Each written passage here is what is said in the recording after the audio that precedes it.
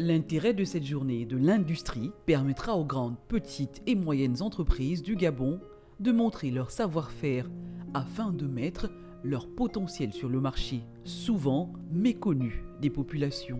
On fait tellement de choses euh, au Gabon, mais personne ne le sait. Donc ça donne la possibilité pour vous de venir montrer aussi ce que vous faites, de vulgariser. C'est une plateforme euh, importante de vulgariser. Ça, c'est un point. Le deuxième point, c'est la possibilité également, donc, avec des panels qui vont sur les thématiques de ce que nous avons projeté, d'avoir donc euh, non seulement du public, l'administration, mais également vous en tant qu'industriel, parce que c'est vous qui êtes au centre de ça, pour venir discuter. Et euh, pour qu'on arrive à des solutions concrètes. Mais vraiment, ce qui nous intéresse, c'est les solutions. Cependant, des questions demeurent pour certains industriels qui attendent un accompagnement réel des pouvoirs publics sur les questions de présence des produits gabonais sur les marchés de consommation et sur leurs exportations. Tout naturellement, euh, mon apport, ce serait déjà de présenter euh, mes produits lors du forum, du séminaire. Euh, donc valoriser les produits made in Gabon.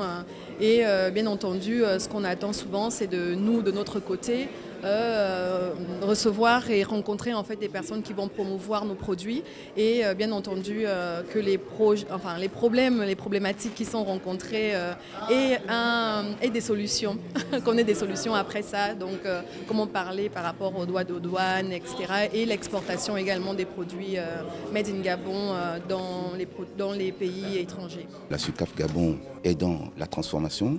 Déjà nous commençons par la plantation, ensuite nous transformons et après la fabrication, nous commercialisons le sucre. Donc nous sommes déjà dans cette dynamique. Euh, il nous suffit juste de faire une extension de nos champs de canne et de poursuivre dans cette dynamique d'industrialisation, c'est-à-dire euh, progresser dans la transformation du sucre et exporter.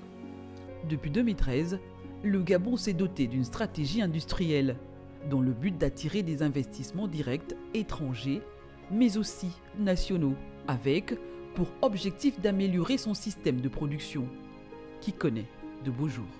Ce qui serait bien maintenant, c'est que nous sachions exactement quel va être le canevas euh, de, la préparation de ces journées, euh, comment elles vont s'articuler, euh, comment les interventions vont se faire, quel est le travail préparatif qu'il faut faire en amont pour pouvoir euh, arriver à des journées qui soient beaucoup plus euh, constructives.